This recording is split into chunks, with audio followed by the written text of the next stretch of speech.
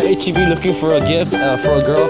Uh, I don't know what to get her. Probably like this. She's a she's 13 years old, and I'm gonna give her this. She is 13 to 12. Like, So like uh, she's like 10. No, no, no. She's like 11. So looking.